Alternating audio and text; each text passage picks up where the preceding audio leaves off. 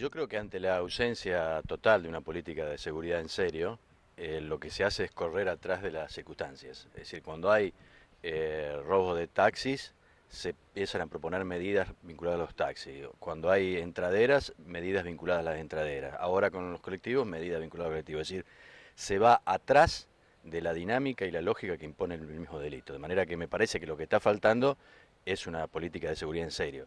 Dicho esto, me da la impresión de que siempre una Cámara colabora, es decir, eh, no, está de más eh, y sobre todo si ha sido consensuada con los propios choferes que han sido y que son eh, víctimas de, las circunstancias del, delito, me parece una medida que, suma. No, creo que sea cámaras habría que poner en la ciudad de Rosario, cuántas líneas de colectivos y cuántas personas justamente visualizando esas cámaras. Claro, ese es el otro tema. Nosotros estamos hablando de 720 unidades aproximadamente las que están hoy andando y 820 a futuro en el próximo pliego. Así que necesitamos esa cantidad de cámaras y una cantidad importante de operadores. Pero aparte, que después los, el, auxilio policial llegue, porque lo que pasa es que a veces los avisos al 911, después llega primero el taxista este, o, cualquiera que pase antes que el, que el vehículo policial. Entonces tiene que funcionar un sistema de seguridad que es lo que aquí no está funcionando.